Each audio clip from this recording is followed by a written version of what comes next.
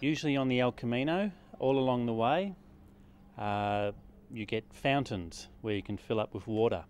But today is a special day. Uh, I think this is a local winery and they've provided both water and wine. So I think today will be a good way. In some way, the Camino always provides. On the day of the rain, there was a restaurant with a warm cup of soup. Last night, after a day of mud, was a nice massage. And today,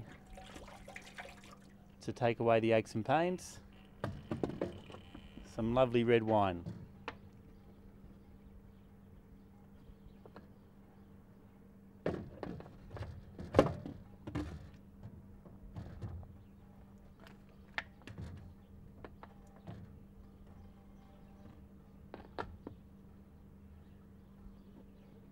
going to be slow going if I'm going to fill up this container, let me tell you.